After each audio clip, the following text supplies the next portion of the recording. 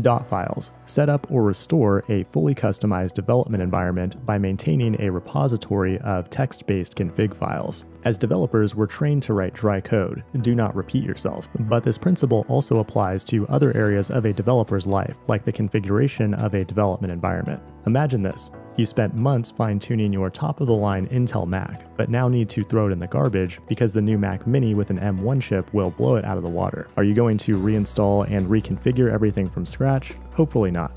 Dot files are those little hidden files on your system that start with a period, like bash profile.env or gitconfig, just to name a few. With a repository of these files, you can chronicle the installation of your favorite applications and command line tools, keep track of how all that software is configured, and record all the various system preferences and changes that you've made to your computer. These files already live on your system, and when you harness their power, you can replicate your perfect development environment on a new computer in a completely hands off and automated way. To get started, you'll want to organize all of your configuration files in a Git repository. That will allow you to track changes and clone the repo on other machines. Its code will contain at least one script that applies or installs the configurations on a new system, and that means weeks of hard manual labor can be reduced down to a git clone followed by an install script. Maintaining your own .files repo will help you develop discipline for other important skills, from command line use to Git to the organization and inner workings of your machine.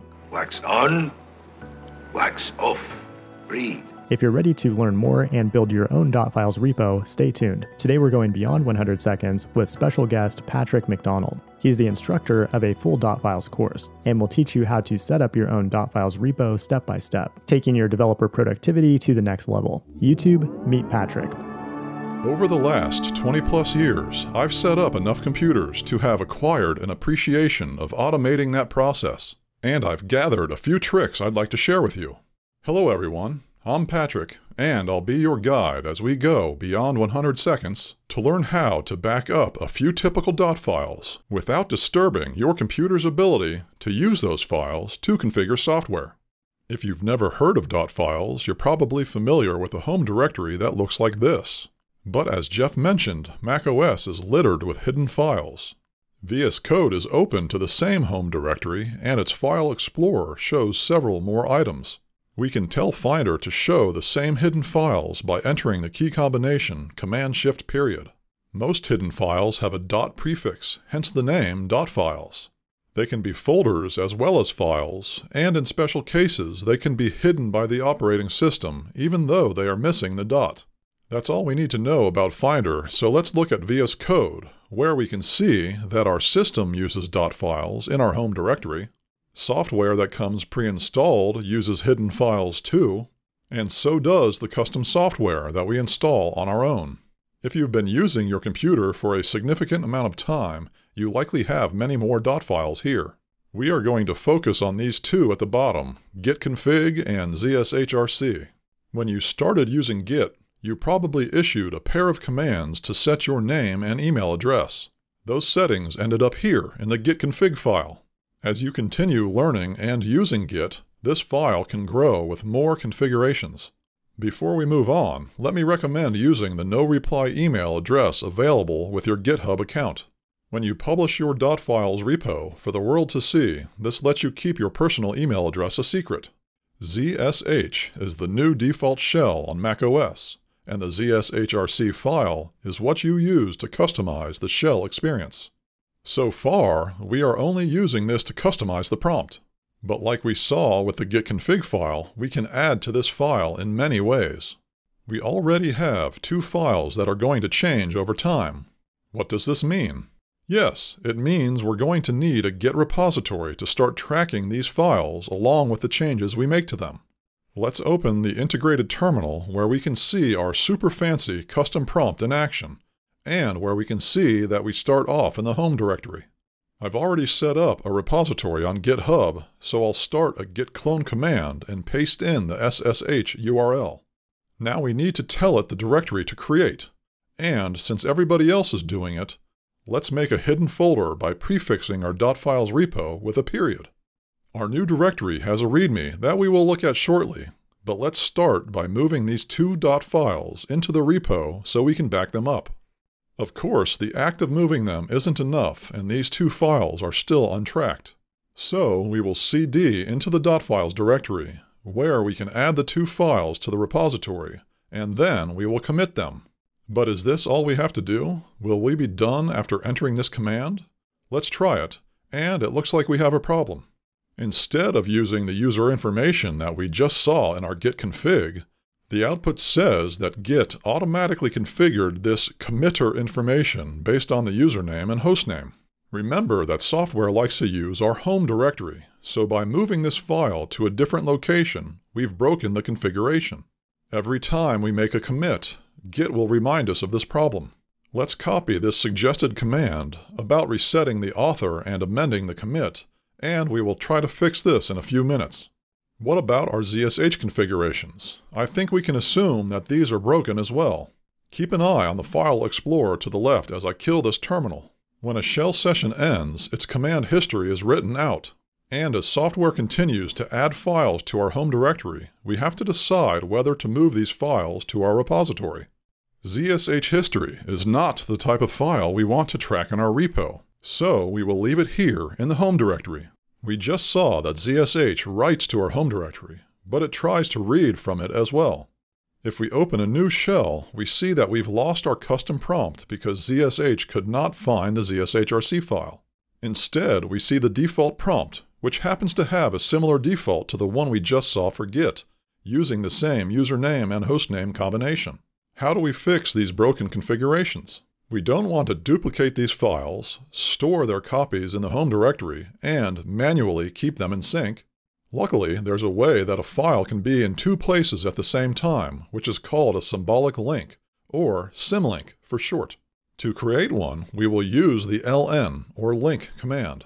Then we will add the S option, which stands for symbolic link. Now we'll pass in the full path to the real file in our .files directory, and lastly, we'll pass in the path to the original location where the ZSHRC file is expected to live.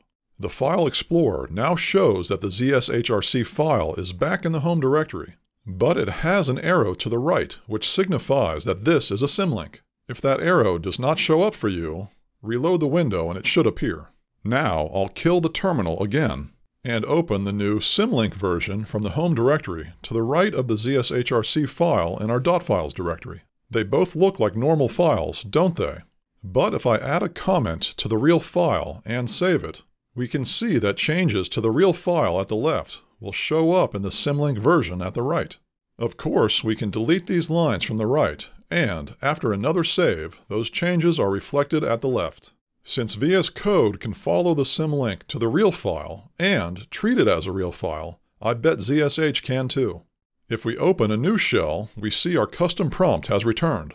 When a shell loads, it looks for the ZSHRC file in the home directory, which follows the symlink to the real file, and the customization makes it into the shell. Not only did the shell load the ZSHRC file, it also loaded the ZSH history file, which is still in the home directory. This means we have access to previous commands. I can press up to retrieve the most recent command from the history, and then alter it to create a symlink for the git config file, which we see appear in the Explorer with another arrow icon. We've seen enough of the home directory, so before testing our git config fix, let's open only the .files directory. The key combo we used in Finder to show hidden files, Command-Shift period, works here as well. Of course, the arrows here on the file icons mean the same thing they do in the File Explorer. After opening the .files directory, we have less clutter to look at. Since we have the .files directory open in VS Code, the integrated terminal will start at the same location when we fire up a new shell. A git log command will remind us that our last commit has the wrong author, which happened because we moved the git config file. We can check to see if our second symlink is working by checking the global git config for the email address, which shows the correct no reply email address that we saw before. Now I'll paste in the command that I copied a bit ago. If you issue this command as is, you'll end up editing the commit in Vim because it is the default editor. And if you're like me, it will take you half an hour to figure out how to exit Vim. Changing the default editor perhaps to Nano or VS Code, is the type of configuration you could make to your git config file, and the change would be tracked in your repo. But in this case, we don't actually want to edit the contents of the commit, so we can add the no edit option. Another look at the git log shows that the author information has been corrected. We have successfully backed up our configurations while preserving the ability to use them. But that won't do a lot of good if our software is not installed. We need an automated way of installing software, and for that we will use a package manager called Homebrew. It just so happens that I used Homebrew to install VS Code along with some other software. We don't have time to learn much about it, but Homebrew keeps track of what it has installed and can output a list of software with this command. After brew bundle dump, I'll add the describe option for a little more info. This command will create a file in your current directory, so it's important that we are already in our .files repo. Our new brew file has a list of software that can be reinstalled at a later date. Taps are the repositories where Homebrew keeps its own software, along with the information about the other software it can install. Brews are tools you typically use in your shell. These top two are new tools I've added to improve my shell experience while these bottom two are upgraded versions of pre-installed software. So Homebrew helps keep everything up to date. And the casks at the bottom are full-blown applications that you probably recognize. Let's start one last shell, add the brew file to start tracking it, and do another commit. Note that this time we did not get the warning message that we saw before about automatically configuring the author. That's another sign that our git config symlink is working, so we will push our changes to the remote repository. Now we've saved our software along with some configurations, but we haven't recorded the process. When the time comes to bootstrap a new computer using our .files repository, we are likely to forget some steps. Instead of researching and relearning these things, we can keep a list in the README. We haven't seen this first step yet, before we can use Git and Homebrew, we would need to install the command line tools. After that, we would clone the repository to our new machine.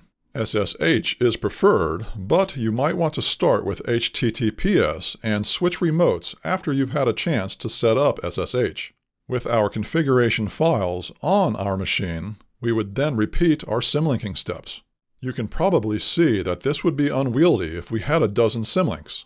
And the more manual steps we have, the more error prone our process. There are better ways to do this, and this is the type of thing you'd eventually work into an install script. Finally, we would install Homebrew and then point it to our brew file to reinstall all of our software. I really wish we had the time to see this step in action because it is very satisfying. Just like we saw in the git config and zshrc files, here we have another list of ideas regarding improving our .files process. We haven't looked at saving system preferences, organizing this repo into separate files, building that install script, or automating any of the steps we did. There are 11 billion possibilities which we can't cover in 10 minutes, let alone 100 seconds. But as Jeff mentioned, I have a growing course that thoroughly covers this material. And for the next 30 days, I'll keep the price as low as the course platform allows. Enroll now, and your next computer setup will be no match for your .file skills. Thank you for watching, and since there's no way I could possibly thank Jeff enough for sharing his stage with me, please thank him on my behalf by liking and sharing his videos, subscribing to this channel, and going pro at Fireship.io. Thanks for watching, and I will see you in the next one.